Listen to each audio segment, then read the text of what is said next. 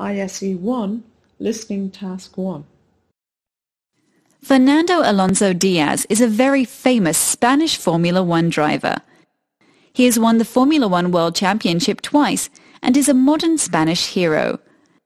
Fernando started driving karts at the age of three years old, when his father built a kart for him and his sister.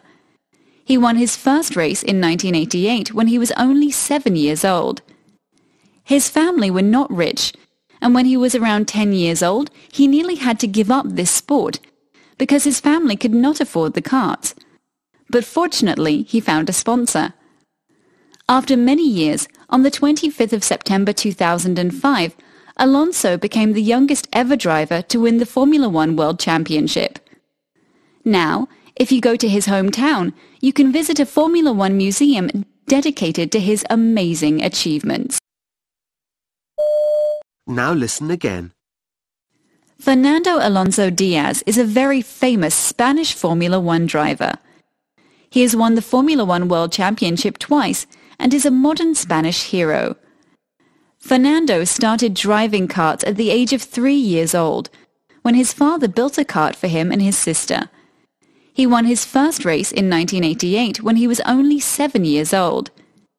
His family were not rich, and when he was around 10 years old, he nearly had to give up this sport because his family could not afford the karts.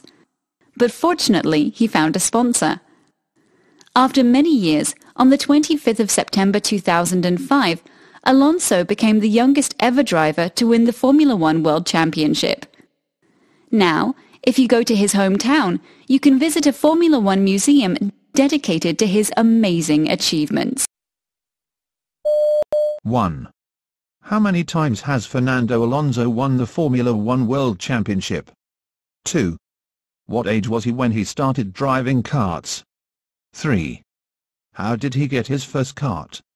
4. When did he win his first race? 5. When did he win the Formula One World Championship? 6. What can you visit if you go to Alonso's hometown?